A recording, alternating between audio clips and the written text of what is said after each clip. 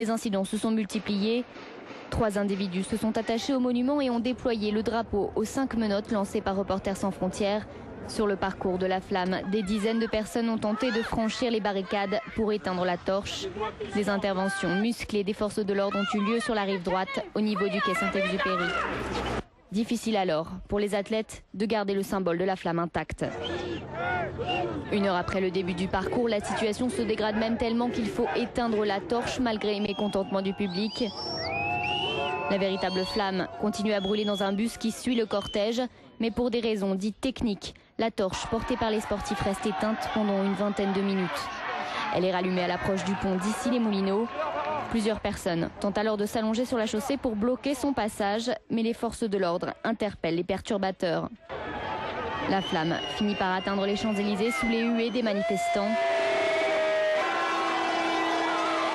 À son arrivée à l'hôtel de ville, la flamme contourne la mairie de Paris sans s'y arrêter.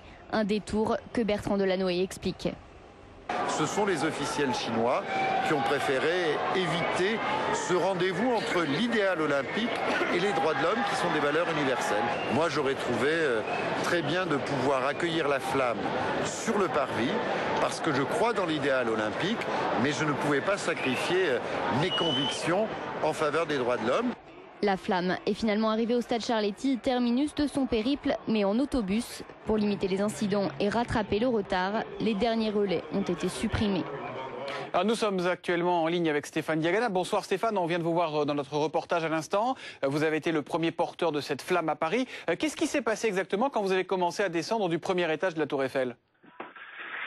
Bah écoutez, ça, a été très vite en fait. Bon, j'ai pris la flamme et puis très vite, au bout de, quelques dizaines de mètres, il y a, y a quelqu'un qui a, qui a crié Tibet liberté et qui a voulu s'emparer de la flamme. J'ai vu derrière derrière moi des gens lui sauter dessus.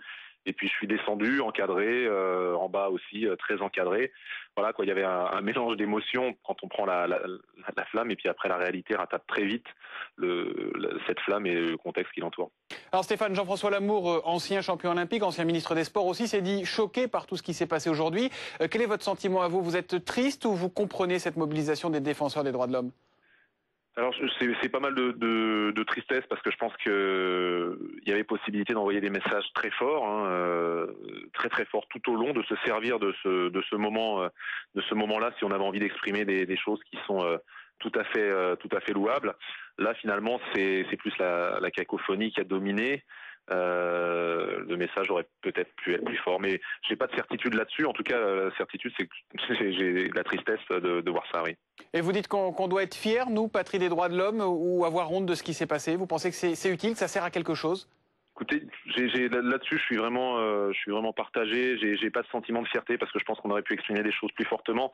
Euh, le, res le, respect des valeurs aussi, c'est le respect de, de, certains symboles, le respect des autres. Je pense qu'il y avait un terrain d'expression qui aurait pu être différent, qui aurait pu laisser la flamme euh, passer, peut-être dans le silence, hein, euh, dans le silence, et puis euh, avec des, des, des, des choses de cette nature-là, ça aurait pu être tout aussi fort et moins porté à, à, la critique.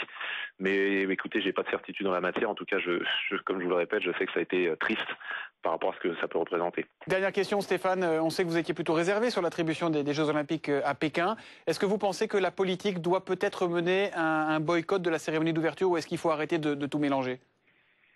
Non, je crois qu'il faut, il faut faire en sorte et, et, il y a, des, bien sûr le, monde politique, mais le, monde politique sportif aussi, le CIO, et, et peut-être à, l'aide de, certains gouvernements de, remettre les discussions au goût du jour pour que la Chine tienne des engagements qu'elle a pris le jour où elle a obtenu les, les JO. Euh, elle l'a dit elle-même, ça nous fera avancer sur le terrain des, des droits de l'homme. Nous, on ne demande qu'à voir. Pour l'instant, on a l'impression que c'est le contraire. Donc, euh, qu'elle nous rassure là-dessus. Euh, elle a quatre mois encore pour le faire, qu'elle prenne des engagements. C'est ce qu'attendent les gens, je crois. On n'attend pas que du jour au lendemain la, la Chine soit complètement transformée, mais on a l'impression que c'est plutôt une marche arrière qu'une qu marche en avant vers, sur le chemin des droits de l'homme. Merci beaucoup Stéphane Yagana, premier porteur, de, cette flamme aujourd'hui. Merci d'avoir euh, réservé vos, impressions au quartier général de l'info ce soir. Merci infiniment. Parmi les opérations spectaculaires organisées par Reporters sans frontières, il y a eu également cette banderole de 8 mètres sur 8 euh, déployée euh, sur la façade de Notre-Dame. Euh, sitôt descendu, le président de Reporters sans frontières a justifié cette opération. Ce qu'on voulait, c'était un lieu symbolique. Et qu'est-ce qu'il y a de plus symbolique que, que Notre-Dame? Notre-Dame, c'est important. Dans la tradition, c'est dans les églises qu'on se réfugie quand on est menacé. Là, on n'est pas menacé, évidemment, mais c'est la liberté qui est menacée. Voilà, donc euh, c'était une façon de dire, comme on l'avait dit, de façon symbolique, non violente, notre rappel, notre attachement aux droits de l'homme en Chine, le combat qu'on mène en toute non-violence. On a reporté frontière tout au long de la journée. Nous n'avons mené aucune action violente. On voulait dire ça et je crois qu'on l'a réussi.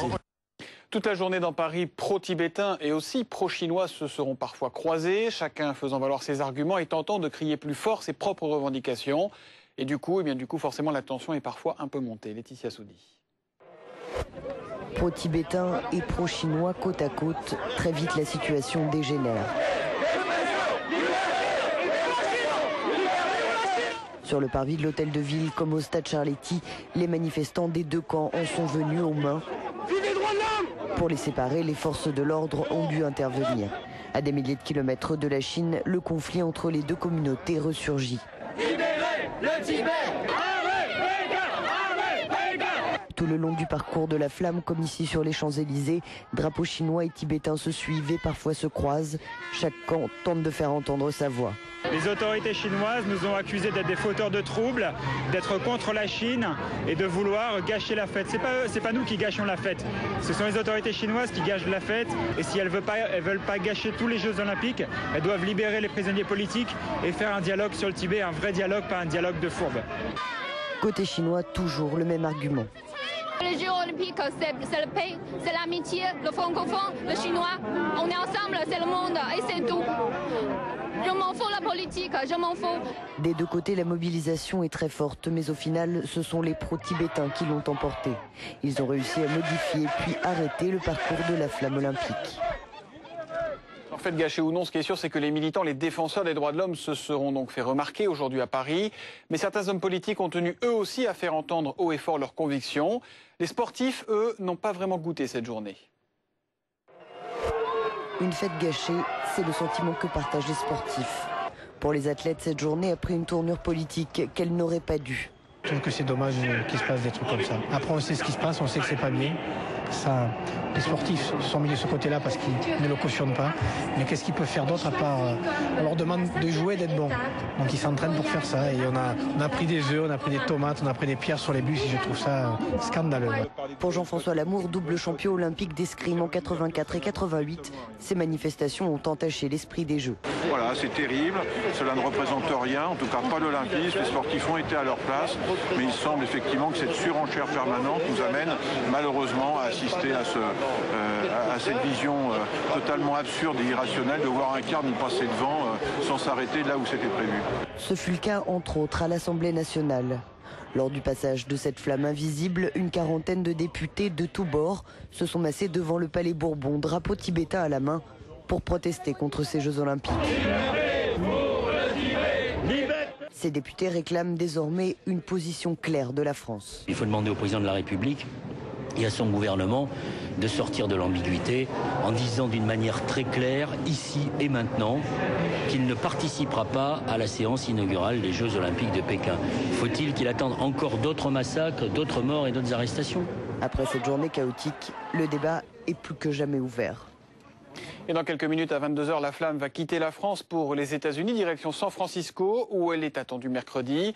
Et là-bas, euh, déjà, les, défenseurs des droits de l'homme sont mobilisés. Vous le voyez, euh, ces images le prouvent. Elles ont été tournées il y a quelques minutes euh, sur les hauts bancs du célèbre Golden Gate, où des militants pro-Tibet ont affiché des slogans de revendication. Et puis, pour être tout à fait complet, notez que l'hypothétique candidate démocrate à la présidentielle, Hillary Clinton, a appelé ce soir le président américain George Bush à boycotter la cérémonie d'ouverture des, des Jeux Olympiques de Pékin. Ce sera le 8 août prochain. Retour en France, les représentants de la CFDT, de la CGT et de la CFE-CGC du site ArcelorMittal de Gandrange ont été reçus à l'Élysée en fin d'après-midi. Alors pas de miracle, hein, la suppression de 500